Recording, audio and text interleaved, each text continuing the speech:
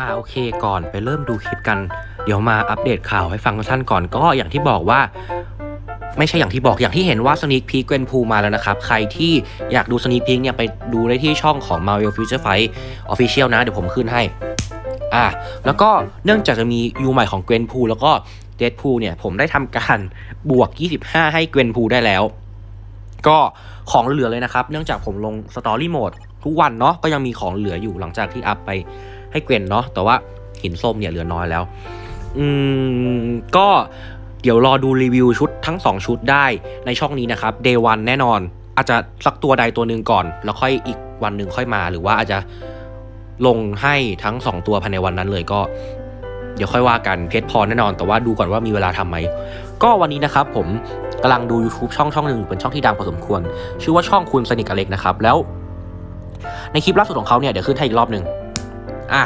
ในคลิปล่าสุดของเขาเนี่ยเขาเอา Kate กับ Hawkeye มาเปรียบเทียบกันใช่ไหมแล้วเขาก็บอกว่าเขาเนี่ยชอบ Kate มากเอ้ยเขาชอบ Hawkeye มากกว่า เป็นแบบ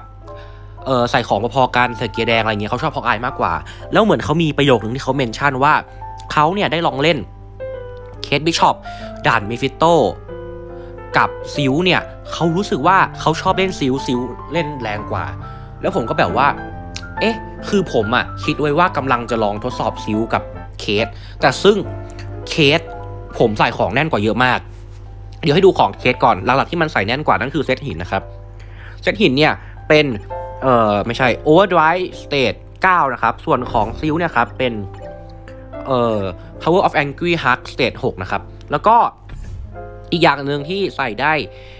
เยอะกว่าไม่ใช่เขียวใส่ไว้ก่อนที่ผมยัดของให้เคสแน่นกว่าก็คือเป็นเกียร์ CDP นะครับ เพราะว่า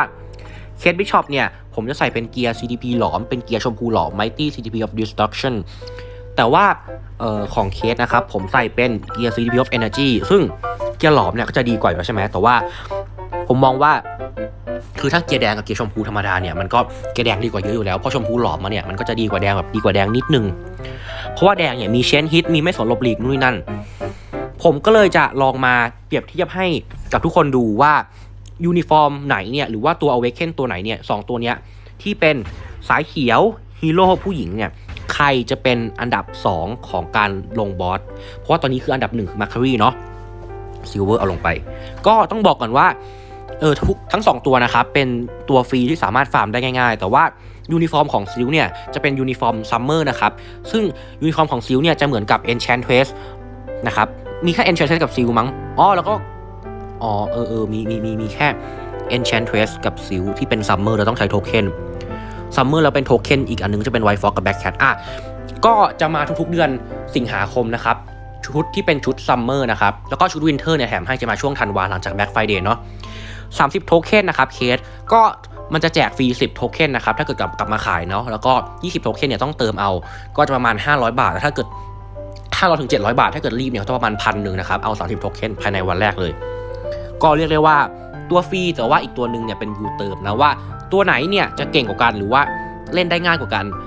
ของ Kate ใส่แน่นกว่าเยอะมากๆ เดี๋ยวเราจะไปเปรียบเทียบกันใน Mephisto กันก่อนแล้วเดี๋ยวเราจะมาเปรียบเทียบกันใน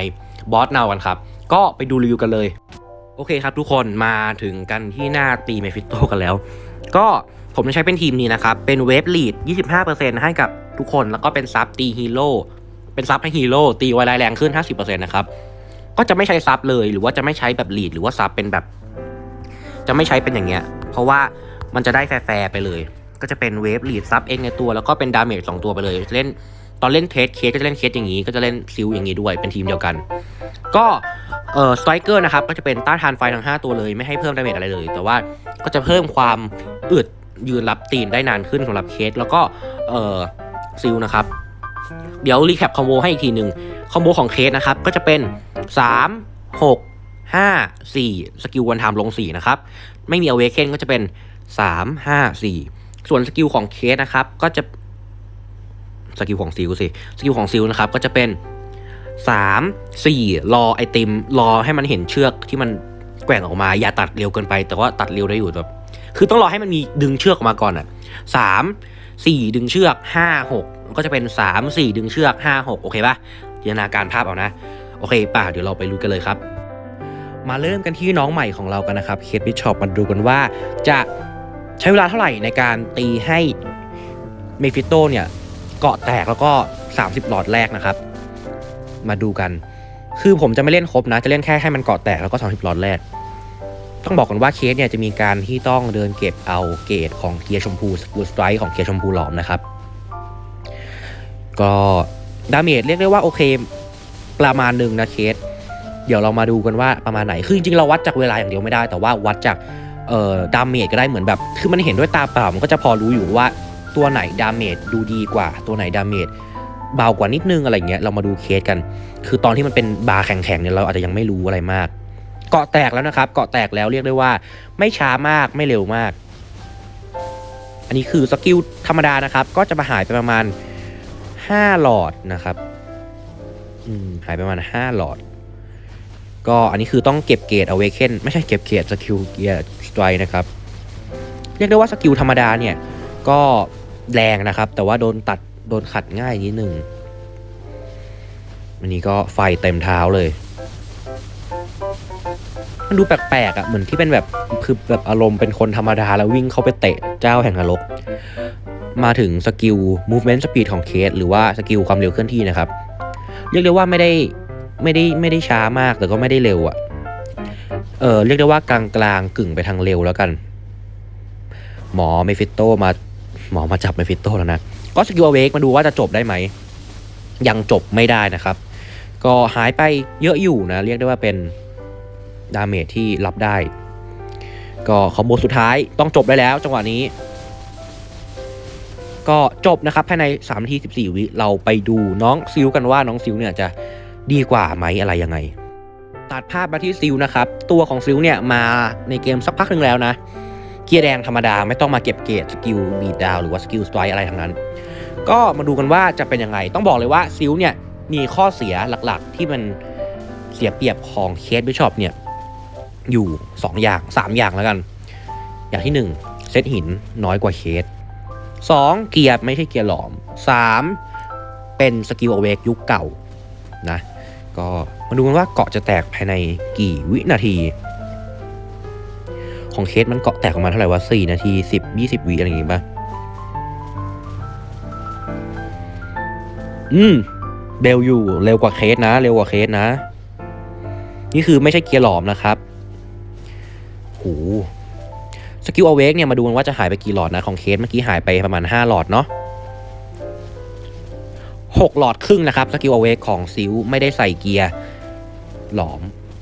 อืมอืม damage damage ดูดี damage เอาเรื่องนะครับ เรียกได้ว่ามันเล่นง่าย skill มันดูเล่นง่ายกว่า Kate อีกนะ ถึงถึงมันจะวันทำง่ายพอกัน แต่ว่ามันกะวันทำง่ายพอกันแต่ว่า skill มันดูแบบ skill Kate มันดูโดนตัดง่ายมากเลยอะโหน่าจะจบไวกว่า Kate แล้วแหละทีนี้ แล้วก็บอกเลยว่า Silk เป็นตัวที่วิ่งเร็วมากๆ อาจจะไม่เร็วเท่า Wave แต่วิ่งเร็วมาก คือแบบนี่ดูดิ คือนี่คือวิ่งแบบวิ่งอ้อมโลกนะยังยังแบบยังวิ่งเร็วอยู่เลย มาดูว่า skill awake รอบนี้จะจบได้ไหมนะครับ ก็สามหกห้าสี่เหมือนเดิม เอ้ยสามหกสามสี่ห้าหกนะ skill Silk ก็จะจำค่านิดหนึ่งยังจบไม่ได้นะครับ ต้องอีก combo หนึ่งแต่ว่าก็ใกล้จบมากๆแล้ว ก็สบายๆนะครับ เร็วกว่า Kate อยู่พอสมควรอ่าโอเคเดี๋ยวจะมาสรุปให้แล้วกันนะครับว่าสองตัวนี้เนี่ยผมมีความเห็นว่ายังไงกันบ้าง ก็หนึ่งนะครับด้วยความที่ Silk เนี่ยเสียเปรียบมาก ๆ จากเส้นหินเกียร์แถมยังเป็น skill awake ยุคเก่า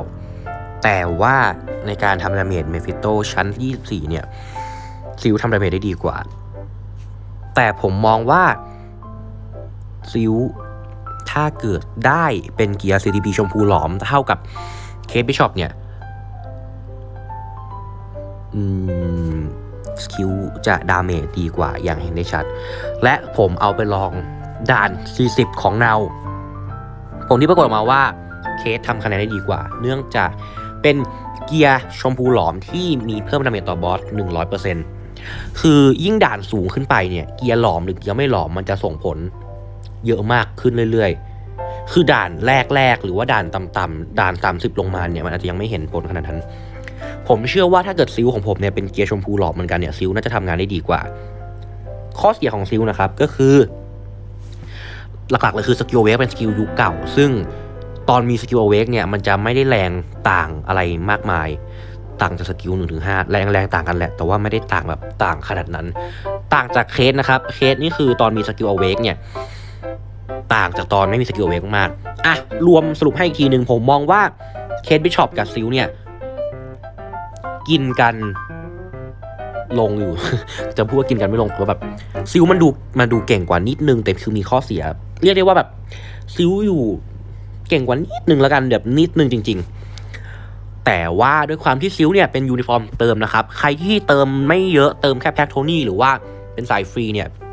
ไปทำ Kate Bishop ก็ได้เนาะ Kate Bishop ใส่แดงเล่นได้นะครับ คือจริงๆผมอยากใส่แดงแหละ แต่ว่าต้องเก็บเพชรไว้ทำเอาตอนนะ ช่วงนี้ผมไม่ได้เติมหนักแล้วผมเติมหนักเป็นช่วงๆ ถ้าตอนนี้ถามว่า Kate น่าทำไหมน่าทำแต่ว่าจริงอยากให้รอ Gwenpool ก่อน เพราะว่า Gwenpool เนี่ยเป็นสายเขียวฮีโร่หญิงเหมือนกัน อาจจะราศีดีกว่า Kate ก็ได้ ถามว่าตอนนี้ Kate เป็นตัวที่เก่งไหมเก่งเก่งมากๆ ใช้ได้ในระยะยาวอยู่ ก็ลงบอสลง ABX ก็ได้ ส่วน Silk เนี่ยไม่สามารถลง ABX ได้ดีเท่า Kate เพราะฉะนั้นมันก็กินกันเกือบเกือบไม่ลงแหละ อืม ผมยังไม่อยากแบบการันตีร้อยเปอร์เซนต์ว่าเนี่ย Silk เก่งกว่า Kate แต่ผมจากที่ลองมาพบว่า Silk เก่งกว่า แต่ถ้าเกิดใส่ของพอๆกันเนี่ย คิดว่า Silk จะทำ damage ได้ดีกว่าระดับหนึ่ง แต่ถือว่ายังไม่การันตีนะ ไม่การันตีบอกว่าเนี่ยมึง Silk เก่งกว่าไปปั้น Silk ไม่ต้องไปปั้น Kate ไปซื้อยูนิฟอร์ม Silkต่อตอนมันมา ไม่อยากการันตีอย่างนั้น เรียกได้ว่าจากที่ลองเล่นมาดีกว่า ก็เหมือนมาลองทดลองอะไรกันด้วยกันแล้วกันผมไม่ได้จะมาตัดสินตัวละครแล้วก็ไม่ได้จะมาพูดดูถูกตัวละครว่า ตัวไหนมันเก่งกว่าตัวไหน แต่ว่าต้องบอกเลยว่าเคสเนี่ยของใหม่อะเนาะก็ปั้นไปเถอะเคส ใครชอบใครก็ปั้น หลายคนน่าจะชอบเคสกันเนาะเพราะว่านักแสดงอะไรนู่นนี่นั่นซิลเนี่ยก็คือจริงๆ ถ้าเกิดมีงบก็ปั้นทั้งสองตัวไปเถอะ ถ้าเกิดจะปั้นมาอย่างเราได้ใช้ใน story mode ปั้นมาลงบอสคู่กันอะไรเงี้ย อาจจะเล่น skill awake สลับกัน lead เป็น Wave เหมือนที่ผมเล่นก็ได้ อย่างนั้นก็ work อยู่เหมือนกันสำหรับคลิปนี้ก็มีแค่นี้แหละ สวัสดีครับ